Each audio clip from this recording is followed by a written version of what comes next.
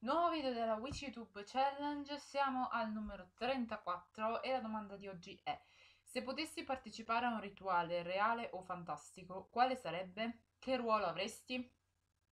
Oh oh. Allora,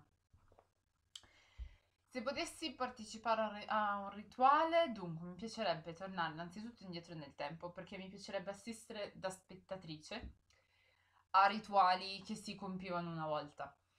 Quindi mi piacerebbe, allora, innanzitutto assistere a rituali in onore delle mie divinità, assolutamente sì. Quindi mi piacerebbe tornare indietro nei diversi templi, nei diversi luoghi sacri e vedere, non lo so, ad esempio mi piacerebbe vedere uh, durante le celebrazioni a Ecate tutti assistere, diciamo, a, alle, come posso dire, all'offerta alla deposizione delle offerte a, ai crocevia. Uh, sempre come spettatrice, eh, mi piacerebbe proprio fare tipo macchina del tempo, ecco, tornare indietro così.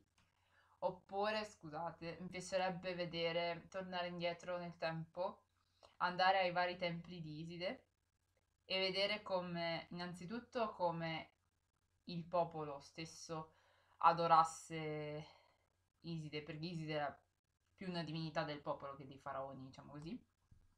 E mi piacerebbe vedere uh, la, la devozione delle persone semplici che non godono di, né di sfarzo né di altro, però tuttavia si sforzano di trovare un'offerta buona e bella e decente per uh, la divinità. E mi piacerebbe vedere proprio questo rapporto mi piacerebbe tornare indietro vedere eh, i rituali anche in onore di, di Artemide, eh, oppure di Pan, oppure di Anubis, di, di Nettuno e bla bla bla, insomma tutti. mi piacerebbe anche um, visitare nei tempi d'oro anche templi che in realtà non appartengono a, a mie divinità, però altri così per sfizio, per curiosità, per interesse, per passione, per tutto. Quindi magari mi piacerebbe tornare indietro e visitare ad esempio il tempio di Delfi, di Apollo, e vedere eh, le celebrazioni eh, e anche qui la devozione, via così.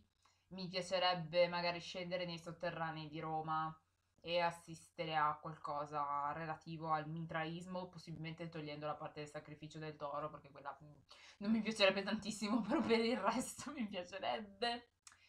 Oppure mi piacerebbe assistere proprio anche a livello più pratico alla stregoneria di, al culto di Anna Perenna a Roma, molto legato alla stregoneria romana.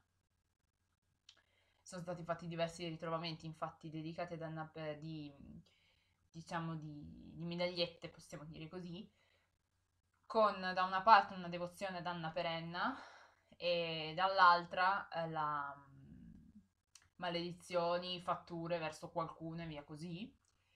Quindi il culto, diciamo, stregonico più che altro di Anna Perenna. Poi mi piacerebbe uh, visitare sempre i tempi d'oro, mh, ad esempio Stonehenge, oppure andare al luogo dove si dice appunto che fosse il noce di Benevento, oppure andare a tornare indietro in tempo a conoscere le streghe di Triora, per esempio. e... Ehm, oppure ancora farsi semplicemente, non so come dire, un'idea all'interno di villaggi antichi sempre. Um,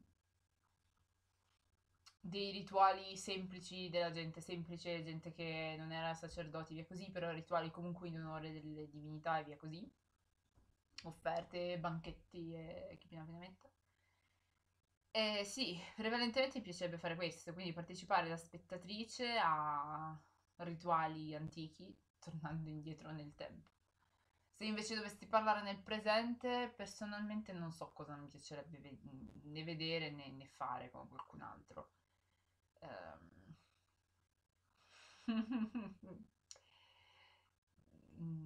non so onestamente se mi piacerebbe fare dei rituali particolari con qualcuno in particolare, con ruoli particolari, oggi come oggi intendo.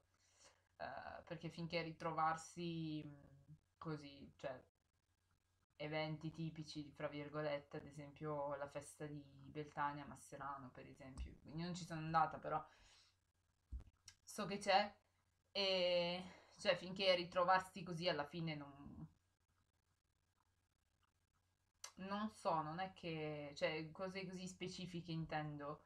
Non, non mi attirano più di tanto oggi come oggi. Mi interesserebbe proprio di più vedere la parte antica di vedere la parte semplice, popolare, senza la parte anche dei sacerdoti, perché comunque loro vivevano di quello, ma proprio la devozione cittadina, popolana, semplice, volgare, diciamo così. Ehm, volgare nel senso di del volgo, non volgare nel senso osceno. E vedere questa devozione, vedere come queste divinità che sono partite fra virgolette da niente, nel senso che ovviamente come qualsiasi concetto si, il concetto deve nascere prima di potersi sviluppare, quindi vedere questo percorso di sviluppo e questa devozione appunto che, che, che percorreva le, le, terre antiche, possiamo dire così. E, e niente, e boh, e basta, e direi che ho finito qui. E io vi lascio quindi qui noi ci vediamo la prossima settimana, sempre di lunedì, con nuovi video della Witch YouTube Challenge. Io vi lascio un bacione e vi auguro buona giornata.